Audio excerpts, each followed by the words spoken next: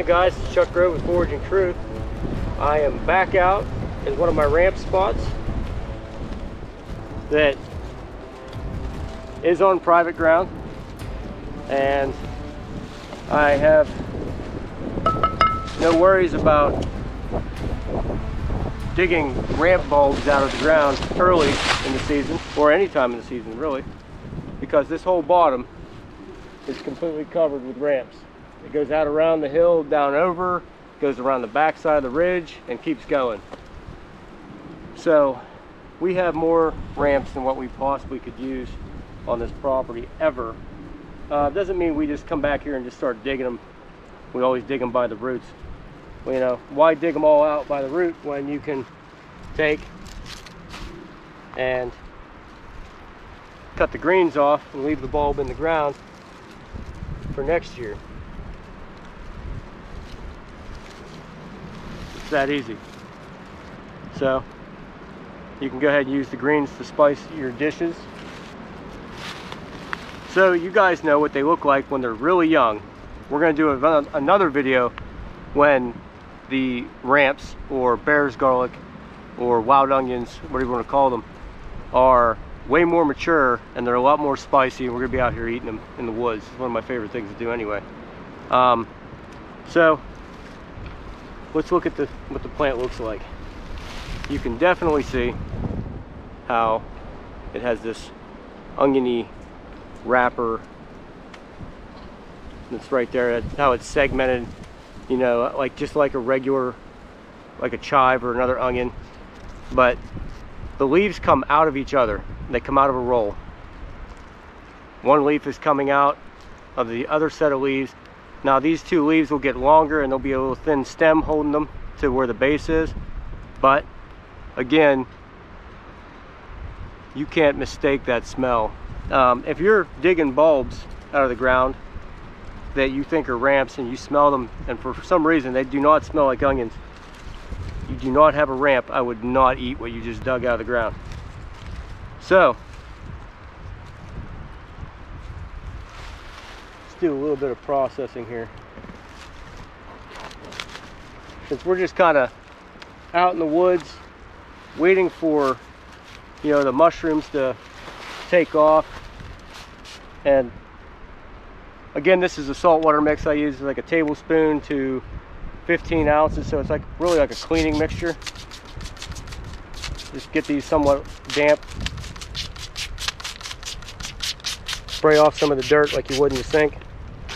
But ramps have this fibrous material around their bulb. If you remove that fiber or slide that fibrous material down, it'll show you where the bulb is on the plant. And then this is the root section right there. So go ahead and cut that off. I always pull down and then slice that section off. It's a really woody section. I mean it's it's tough to uh, try to chew.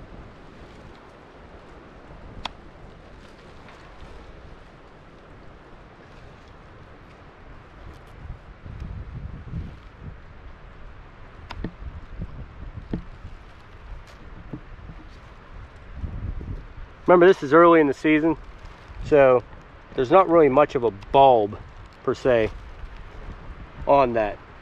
But the greens are definitely really good. They're all, the whole plant is edible, except for, like I said, these root structures are very, very woody.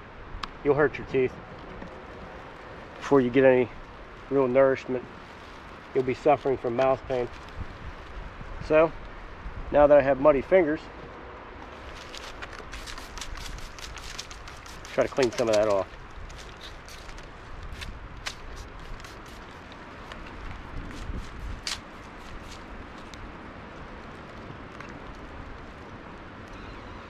So, salt, it's been being used for thousands of years to cleanse, to keep things sanitized, and back in the days of the Romans, They were actually, Roman soldiers were paid with salt, weights of salt. So the Bible actually says we're supposed to be the salt and the light of the world. And salt that loses its flavor should be thrown out, cast out of the house, and uh, trampled underneath the feet of men because it has no more usage. So we want to make sure that we stay salty in the right biblical stance. So, guys, cleanse these ones up pretty good. I'm going to give one to my camera guy. He's probably going to taste it, but not know, eat it too much because mm. he's uh, he has a problem with onions. You can still be my friend, maybe. The whole thing is completely edible, guys. And that salt actually adds a little bit of flavoring to the onion. It's really good. Delicious. Fresh, young, right from the ground. More than you could possibly eat in a lifetime, probably. And they're just starting to poke up, like right here by the tree. There's some coming up. Then over there. But when these things come up, it'll be a blanket of green across this bottom. Awesome thing to have right, right in my backyard. Very blessed. So guys, bear's garlic, ramps, wild onions,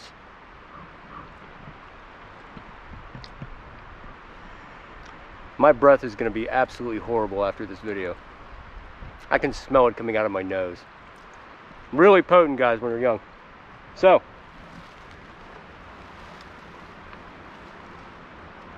get out there, get in the woods, find some ramps, use all of your senses to be able to tell what they are. Look at the leaf pattern so you know it. That center fold is real easy to, to see.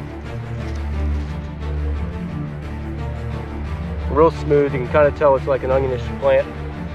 If you guys like the video, forge the like button, stick it in the subscribe basket, and ring the dinner bell. We should all be foraging every day. So keep foraging.